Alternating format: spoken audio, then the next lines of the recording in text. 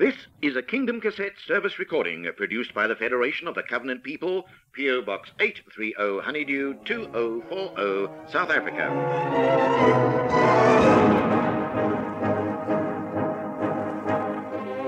This is the 69th recording uh, in the Kingdom Cassette service. And in this, we offer a variation in our presentation, in that, over the next four, five, or possibly even six months, we will be joined by Israel identity believers uh, from all over the Anglo Saxon world uh, in a general theme uh, which I have called In Search of Truth.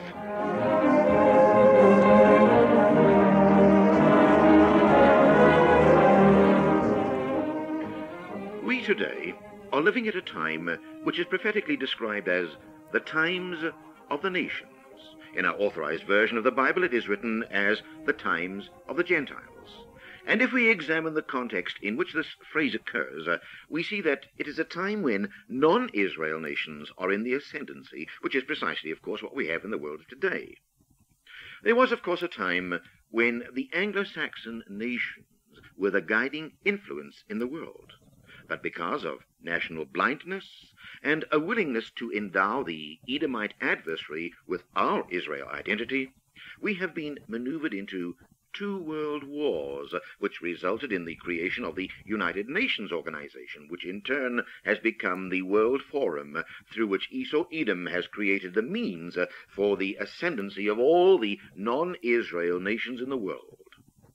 From the United Nations organization has come that general babble of demands of people who, prior to the creation of the world body, had absolutely no concept whatsoever of nationhood, and whose various ramifications have stripped the true Israel people uh, of their role in world affairs.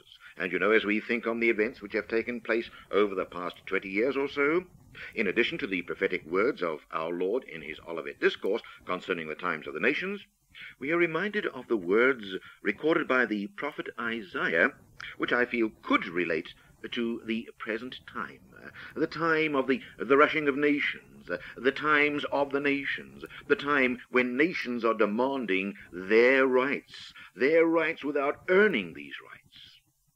Just listen to the words of the prophet Isaiah as he wrote them such a long time ago.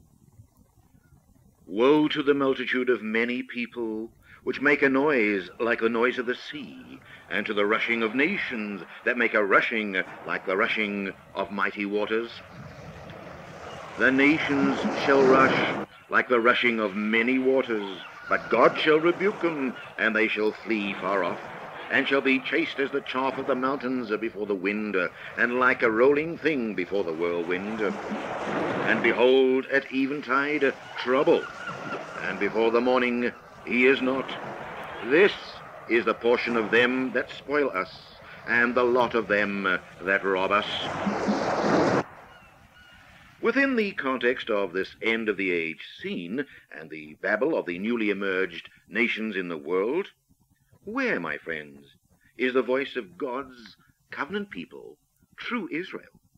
Oh, we hear a lot from the Israeli state and its claims, not only to Israel identity, but also to the land which was promised to Abraham and to his seed, which of course should tell the average man in the street that something is wrong here, for according to the prophets, Israel would be blind to national identity until the veil of blindness would be removed from all nations, and yet the Jews have claimed a knowledge of their identity since a Judean nation was set up in Palestine in the 4th century BC. Something is indeed awry here, for our people, the Anglo-Celto-Saxon and kindred European nations, have been rendered so inert by the opiate of theology that they fail to see that in our various nations we are living under the exact conditions which the prophet said would obtain in Israel. If we look back to the history of Israel in the land of Canaan, we see that the Lord charged that his people had been destroyed or would be destroyed through a lack of knowledge, a lack of perception of his plan and his purpose with them, a situation which would continue until a new covenant became operative in them. And it's patently obvious that the promised new covenant is not even today in operation. I know that a lot of people would like to challenge when I say that the new covenant is not in operation today. They would challenge us, claiming that our Lord Jesus Christ initiated the promised new covenant. And, my friends, notwithstanding theological arguments, I would like to ask a question here in respect of this new covenant. Firstly, who was involved in it? It simply tells you you could find this either in Jeremiah 31, 31 uh, through there, or in Hebrews 8, 8. Either one, it makes no difference. The new covenant was to be made with the house of Israel and with the house of Judah, and there is absolutely no suggestion that anyone but Israel was involved in this. You would further note that in terms of this new covenant, the law would be written on the hearts and the minds of the Israel people, not some other discipline, my friends, but the law which God had given to them at Sinai was to be written in the hearts and the minds of the people. Further, the operation of that new covenant, the operation of the law in the mind and the heart of the Israel people would have a consequence, cause and effect, if you wish it that way. The consequence would be, and I quote it to you, they shall teach no more every man his neighbor, and every man his brother, saying, Know the Lord, for they shall all know me, from the least of them unto the greatest of them, saith the Lord. Now, even the most naive among us must admit that this situation does not obtain, and that instead of being a secure, law abiding, and wealthy nation, we are a company of nations which has lost its way in the midst of confusion, uncertainty, and an ever increasing lawlessness.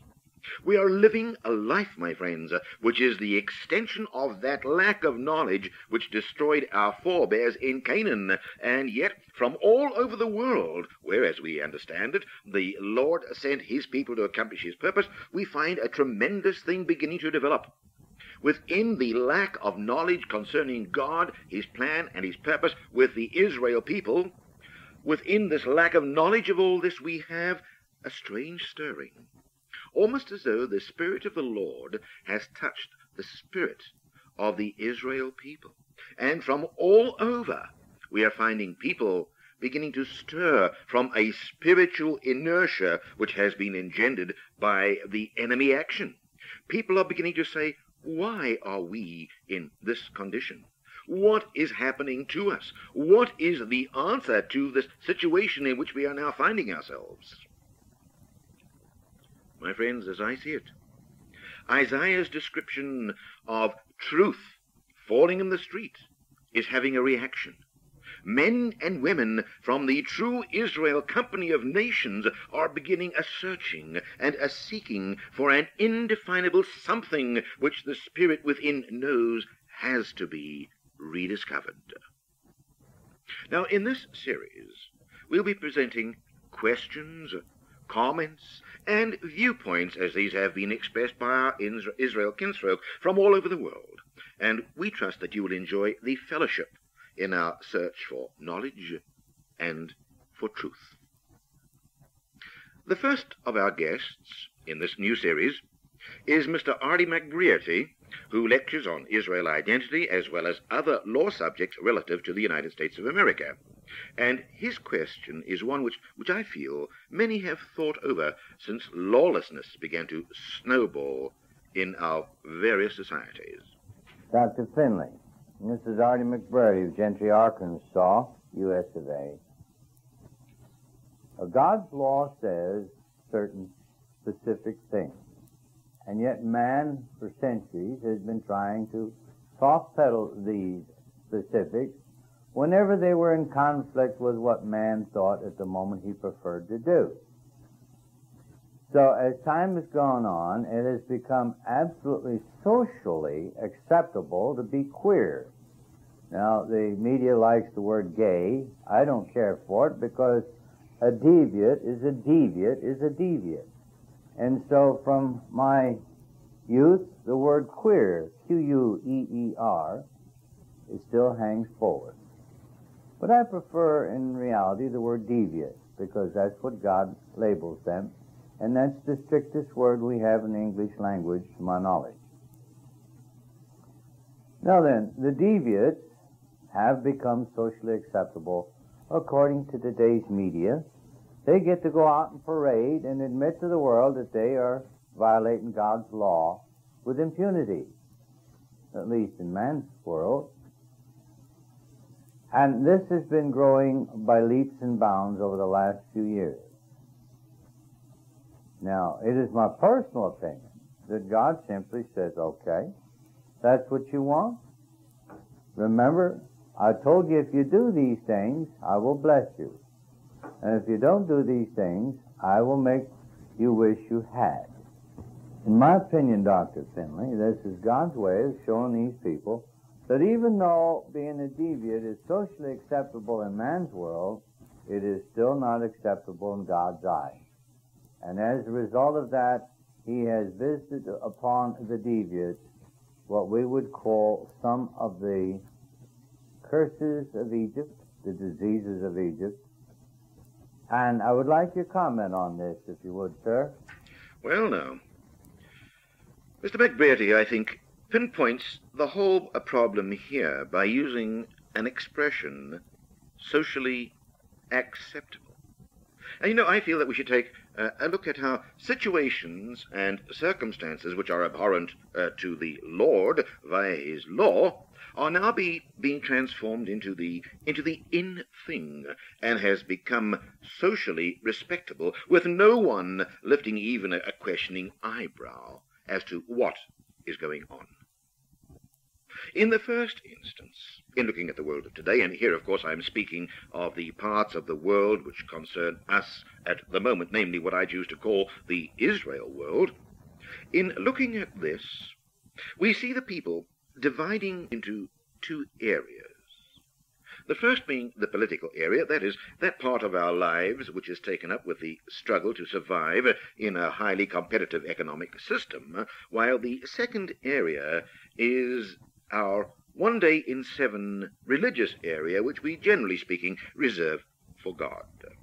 Now, what I'm saying here is that, that while our society appears to be very pious on one day during the week, be it either a Saturday or a Sunday, the other six days, uh, or the greater majority of our lives, are lived as though the, the Lord our God didn't exist at all.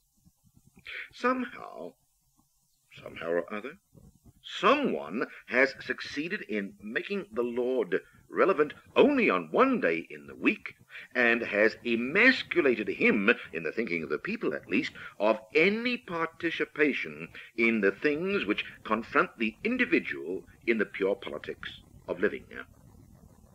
In a nutshell, the Lord has been transformed into a religious God, whose interest, so it is taught, lies entirely with the worship accorded him, and who, apart from this, has absolutely no interest in what men do with the rest of, the li- of their lives. You see, they are only con- they say that he is only concerned with their souls.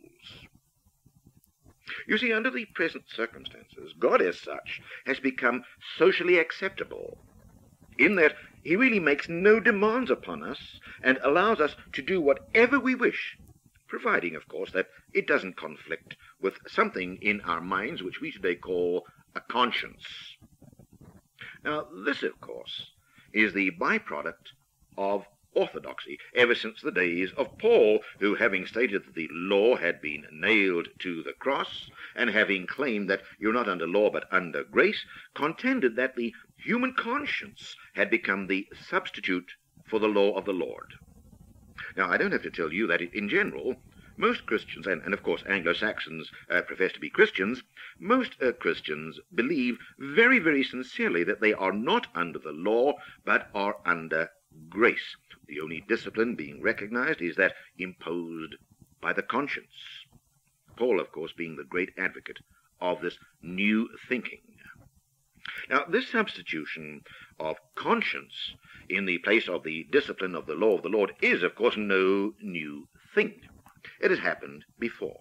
And to test whether or not this is uh, this situation is, is in accord with, with the wishes of the Lord, whether he approved or authorized it, we need to search the scriptures and see if there was ever a time in Israel's history when conscience and not law governed the people.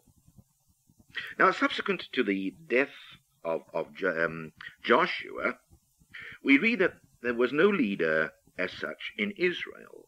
And according to the record in the book of Judges, we read there that every man did that which was right in his own eyes. And this word right is translated uh, from the Hebrew yoshor, which means upright, straight, even, and just. Now, from this account, it would appear that despite the preceding years when the law was central to the nation's existence, every man conducted his affairs as he conceived them to be equitable and just, his conscience being the only yardstick for whatever action he indulged in.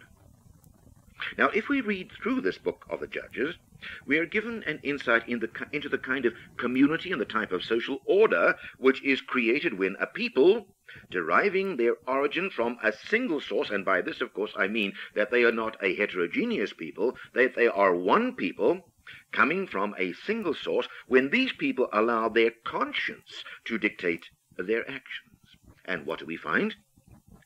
Apostasy, confusion, chaos, and war was the byproduct of Israel using its conscience and not the law as the yardstick for their national behavior. If we continue with the, with the Israel story, we see the Lord's response to this situation, in that we read that he appointed judges uh, to rule over Israel and to bring the nation back under the rule of the law, which, if conscience as a rule of conduct was acceptable to him, would certainly never have been the case. Now, in returning to today, where, as I have said, God's people are encouraged to use conscience rather than the law as the, the yardstick for behavior, we find that people are indeed now doing that which is right in their own eyes.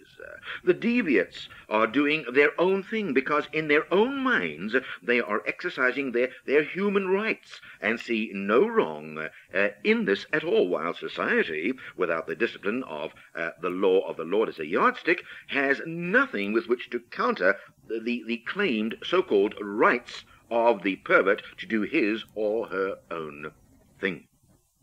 As Mr. McBrearty has said, the deviates are getting bolder and bolder as society relaxes its resistance, and many people are beginning to wonder where God fits into this mess which we now call Western society. Make no mistake here.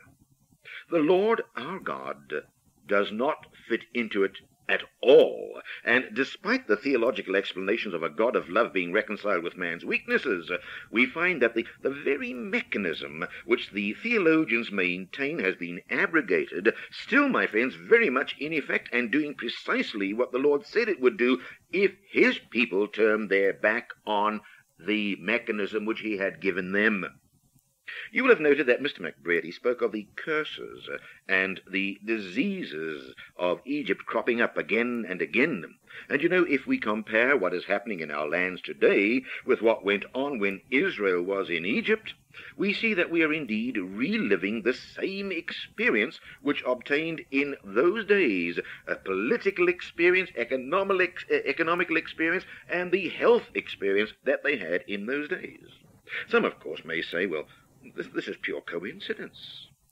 But you know, if we look at just about every facet in our everyday lives, uh, we see that there are just too many of these uh, so-called coincidences, uh, all of which go to prove that the Lord our God was not fooling when, through Moses, uh, he gave our forebears the principles of life and good and demanded that his people should abide by these, and in being blessed by obedience to it, they would then fulfill their national function in the earth.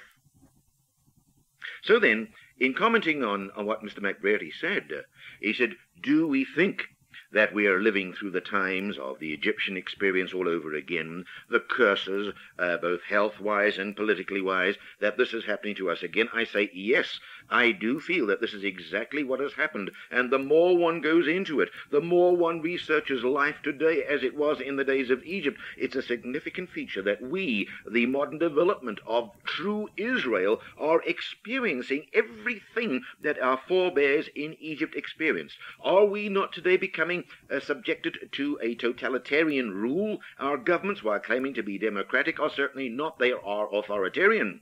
When we look at our health, is not our health exactly the same as it was in the days of Egypt? And just look at the socialism that went on in Egypt. The Pharaoh bought out or just simply took out every bit of land, took out every man's property, and he ruled them with a rod of iron. Isn't this exactly what is going on today? The more you search this, the day today's happenings, you will see that we are indeed reliving that experience. And so my comment in terms of uh, this question is, yes, sir, we certainly are living through those days and experiencing the curses of political Egypt. We are experiencing the curses of spiritual Egypt, and we are certainly experiencing all the diseases of Egypt in our midst today. Now, Mr. McBrearty included a second question. Uh, uh, with that which I, have just commented on, uh, and which is related to it and has to do with the, the current outbreak of this uh, disease called AIDS and its impact on our society. But hear his question before I go any further commenting on it. In addition to this, Dr. Finlay, it's become known through the media, of course, that AIDS is transmittable to normally healthy uh, straight type folks, the good old uh, heterosexual, as the word goes, and uh, it comes to them via the, we believe, blood transfusion. Yet the fact remains that uh, an individual who's not indulging in the devious game can still catch this particular undesirable disease. Now, again, it's my personal opinion that uh, people who are not devious can uh, partake of some of the punishment because they were part of the socially accepting public. I'd like your comment on that, sir. Oh, well, now, in, in dealing with this subject, I'd like to divide my comments into two sections.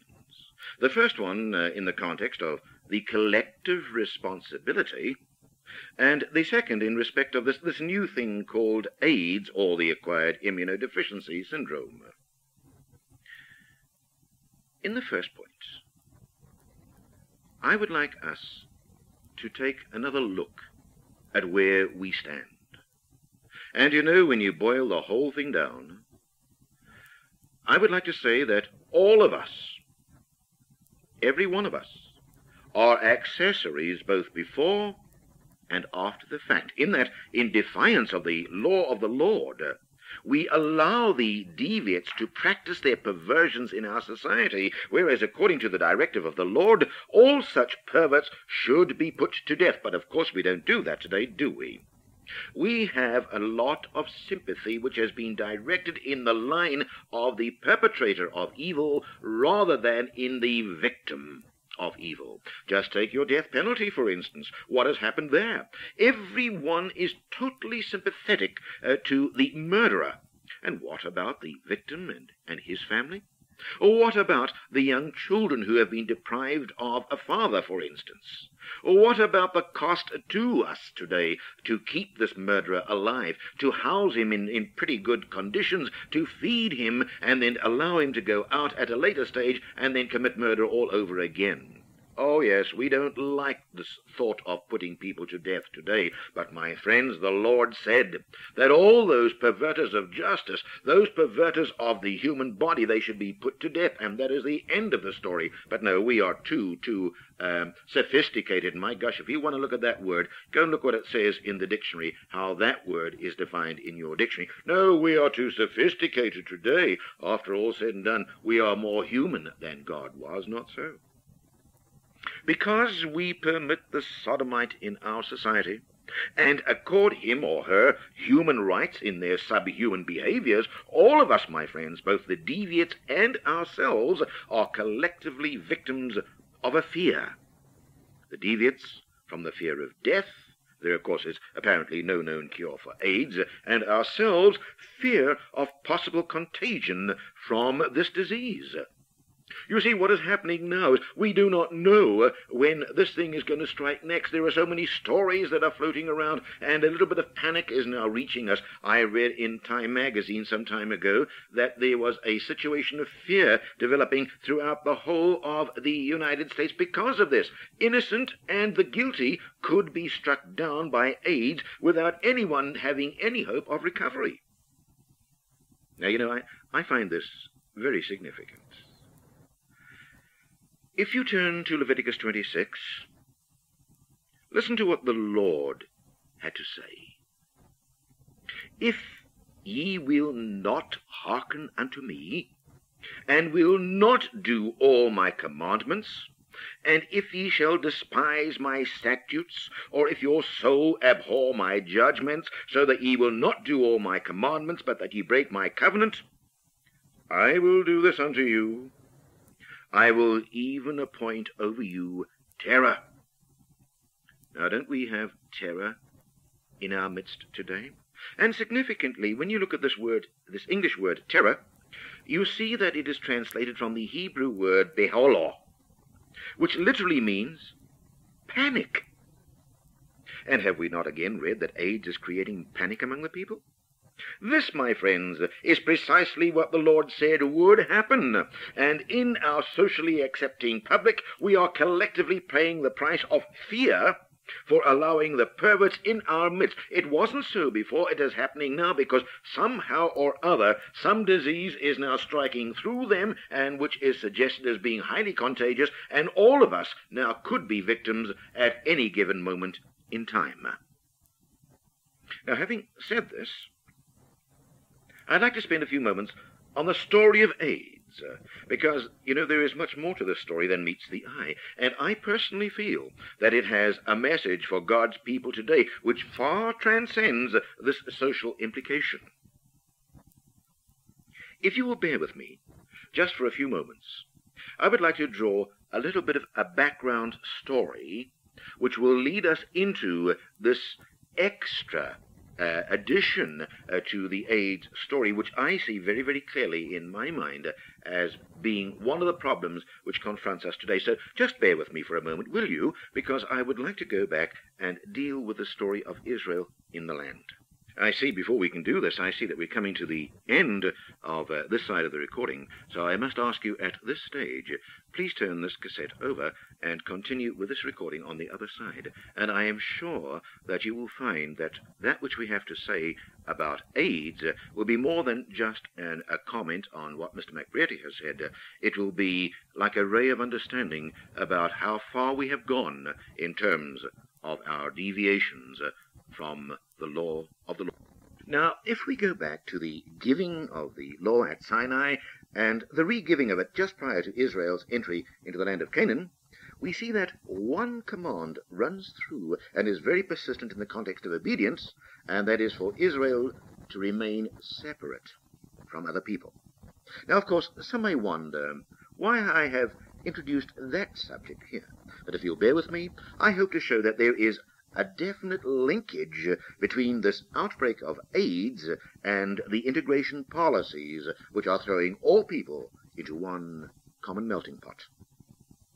Now, if we look at the law, among the many regulations which, which are not considered as, as Christian, we find that the Lord was very specific as to who could be incorporated as a member of the Israel community and who could not. Unfortunately, our English translation blurred over these distinctions and used one English word as the equivalent of four different Hebrew words. We find those Hebrew words being ger, nokri, tashab, and zer, and their meaning is invariably determined by the context, which all can check out if they wish.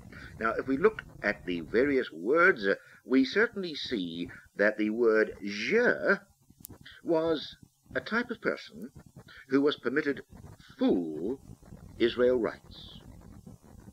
The Nokri, which generally covered such people as the Canaanites, the Moabites, and the Ammonites, these had no rights whatsoever and were classified as the Mamzer or the bastard, as this is referred to in Deuteronomy 23, verse 2. The Toshab, which is a comparatively late word, covered a people whose only right, as far as the scripture says, was that in respect of justice, while the fourth and final word, Zur, covered peoples such as racial aliens who were forbidden within the Israel community. The one English word stranger has been used to cover all these four words and their meanings, and because we read it as such in our Bibles, we say that stranger merely means one that you are not familiar with. That is all. The Hebrew has an entirely different story to tell, and it makes specific uh, regulations uh, concerning who could and who could not come into and be uh, part and parcel of the Israel community. Now, if we read through the Old uh, Testament history, we see that contagion, religious, cultural, and physical was the underlying. A breakdown in the implementation of these restrictions uh, eventually led to Israel's removal into captivity. The fact that both Isaiah and Hosea wrote of the Zur uh, permeating both Israel's land and society and being apparently acceptable uh, to the Israel people is a clear indication, I feel, that they had been conned, that is, the Israel people had been conned by both their religious and their political leaders, and despite what the law had to say, they saw absolutely no harm in the presence of those prohibited aliens in their midst. Now, we today are in exactly the same situation and are seeing our Anglo-Saxon society changed into a very heterogeneous one. Now, in the light of what I have just said, it would be natural for you to ask whether I see the AIDS disease as the byproduct of the intermingling of people of different cultures rather than as a byproduct of sodomy. And, my friends, because of evidence to hand, I must admit that I do. The fact that sodomites constitute 71% of all known AIDS cases is a significant link which shows where the disease strikes, where it, where it strikes first. But I do not think that this perversion itself is the source of AIDS. Now, let me give you my reasons for this statement. And the first is to draw your attention to the fact that sodomy has been going on for a very, very long time, long before it was given social respectability by a permissive society. And yet, prior to 1978 or 1979, the acquired immunodeficiency syndrome was totally unknown. Now, what in fact I am saying here is that homosexuality is old. AIDS is very new, which means that something has been introduced and which, for some strange reason, has struck at the perverted section of our society. And this something, my friends, must be isolated so that we can determine precisely what it is that is creating more than a little panic in the Western world. In the beginning, the trail seemed to lead to Haiti, and I'm sure that you'll all recall that the Haitians became as popular as the proverbial pig in the synagogue, particularly as the trail seemed to end there as far as America was concerned. However, AIDS began to make its appearance in Western Europe, with France reporting 39 cases, with four out of every five never having been to either the United States or Haiti, and it was still thought that those who had been had introduced it into France. However, Belgium uh, put the proverbial cat among the pigeons when it announced that they had 35 reported uh, cases, none of whom had had any contact with those in France, but all of whom had contact with equatorial Africa. According to a news agency report, the first AIDS case in Belgium was a Zairean woman who had married a white Belgian. She died of the disease in 1981. Since then, and, and, with persistent investigation, it has been shown, and as is quoted in the March 26th edition of the medical journal The Lancet, Zaire is an endemic zone for the supposed infectious agents of this disease. The significant feature about this is that Zaire, which is quoted as an endemic zone uh, for the infectious agents of this um, disease, that Zaire is not, my friends, known for its homosexuality, nor for its drug users, the two high-risk elements among the Europeans.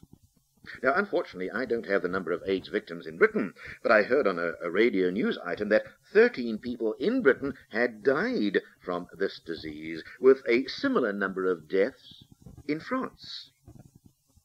Now, if we look at Western Europe, we see that Britain, France, and Belgium had colonies in equatorial Africa.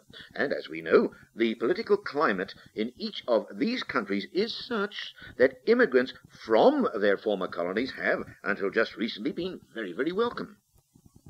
Now, I ask the question, and I'll leave it uh, for you and, and possibly the medical experts to answer in the future.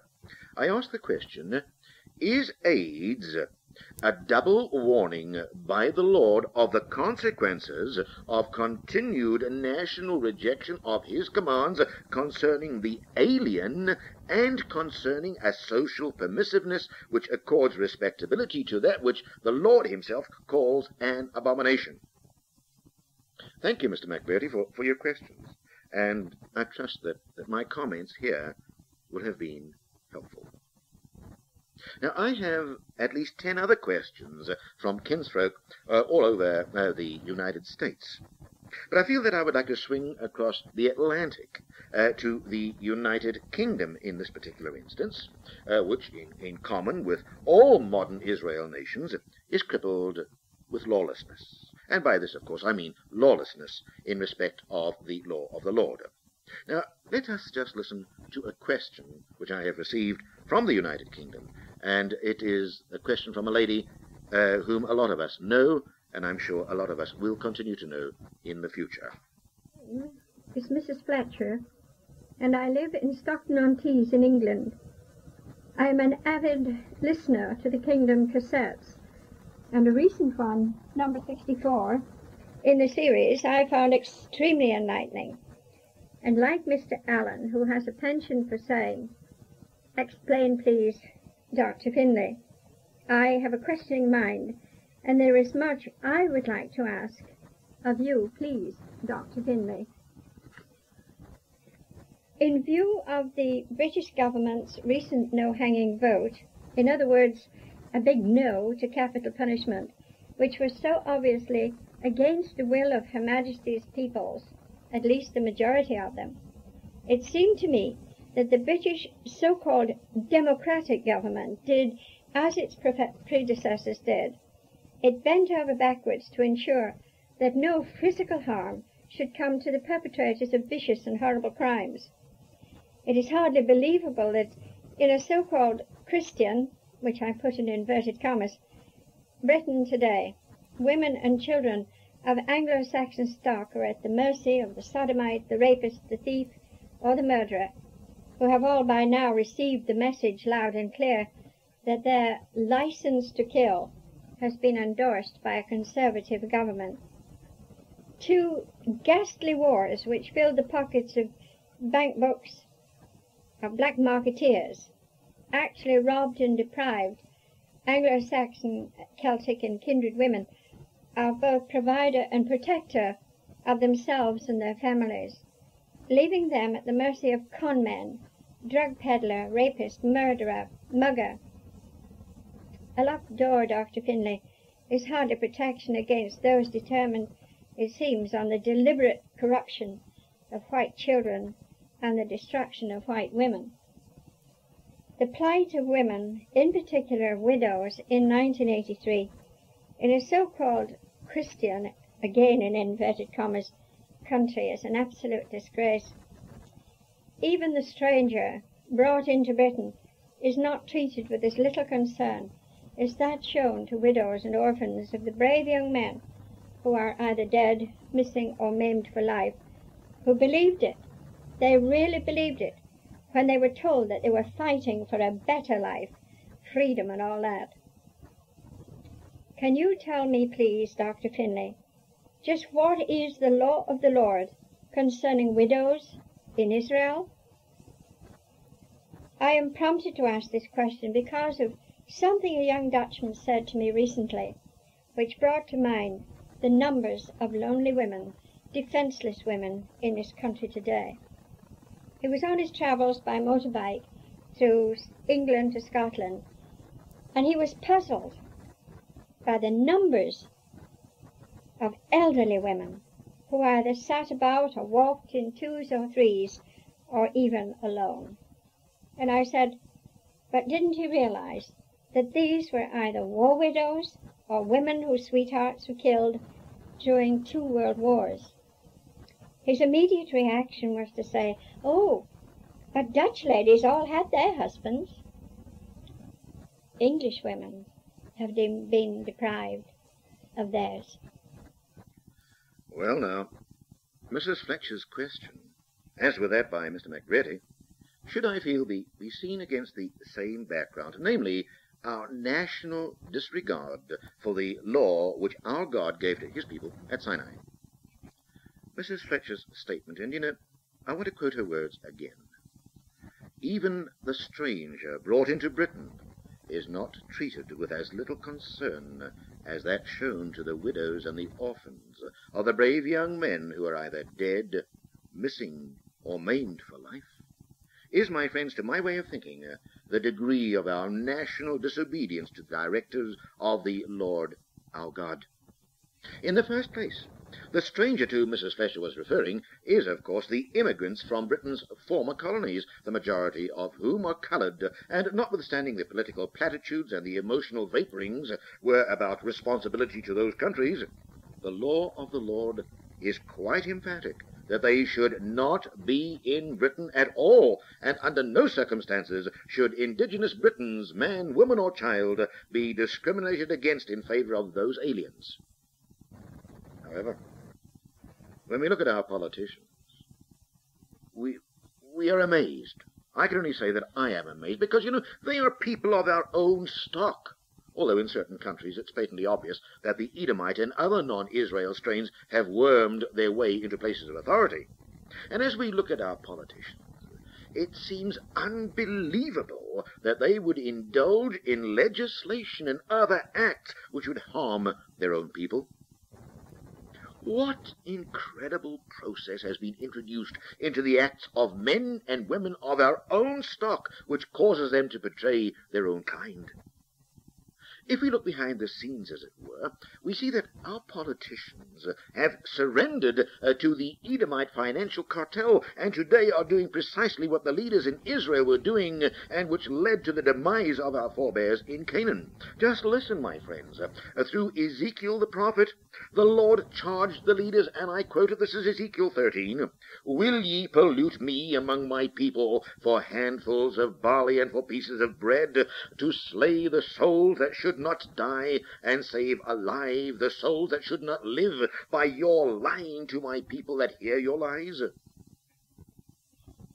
Politics, my friends, is like a game of chess with our elected representatives as the pawns who are moved in the direction which the master planners decide is expedient.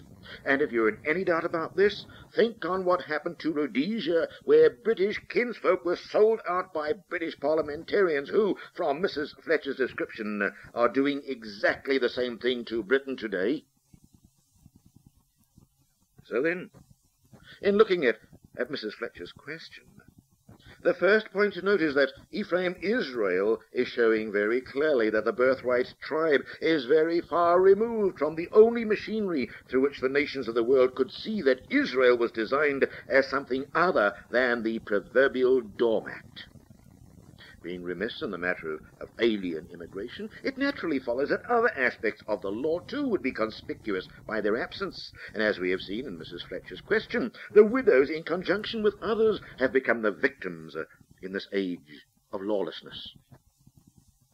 Now, in turning to the law of the Lord, and indeed to the whole tenor of the Old Testament history, we see that the fatherless and the widow occupy a very special place in the provision of the Lord.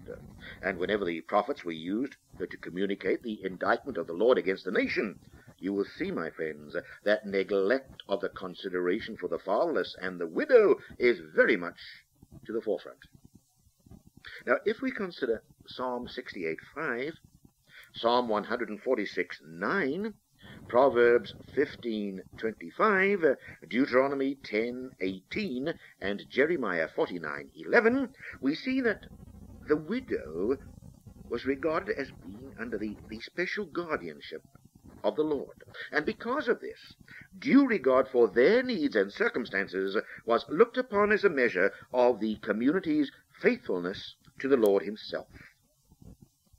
Now, apart from these scriptures, I would like to draw your attention to Deuteronomy 24:17, which reads, Thou shalt not pervert the judgment of the stranger.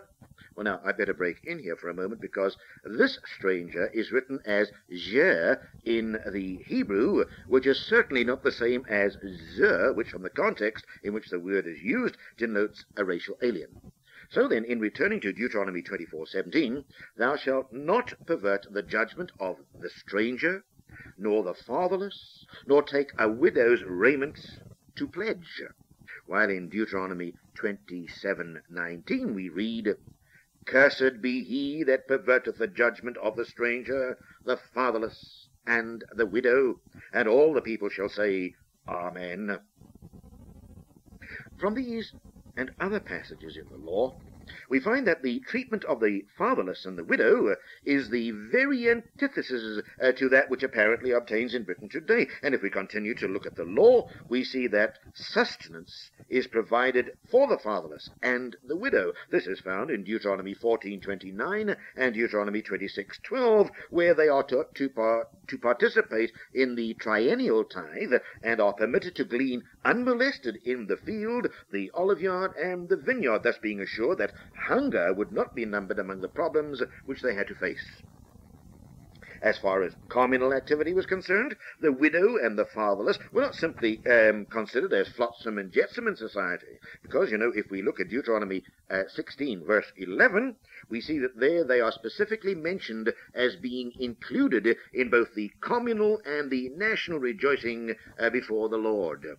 So the as far as the widow is concerned, and of course her offspring, uh, we see there that they had a very, very important part, uh, important part uh, in the, the Israel people, and their place in the community was not one, uh, shall we say, of charity or anything like that. They were to be looked upon as a charge given to them uh, uh, from the hands of the Lord.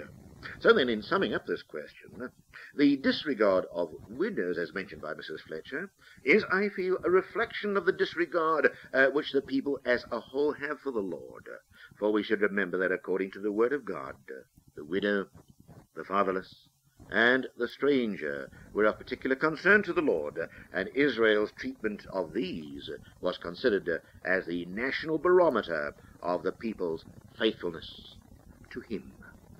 My friends, in this recording, we have answered three questions. There are so many more. The people are asking, asking, asking, searching, searching, searching, analyzing and analyzing. The time is now for us to all search for the truth. And my friends, I tell you, I believe that the Lord is going to answer our prayer. What is truth, Lord? And as we go on in this series, I will be dealing with questions that have been asked by all our Israel kinsfolk all over the world. I have at this moment a minimum of 30 questions all on tape, and I will be dealing with these in our tapes from now and over the next six months. May the Lord our God bless you, my friends, in your search as you join with us in seeking that machinery the truth, which will indeed make us free.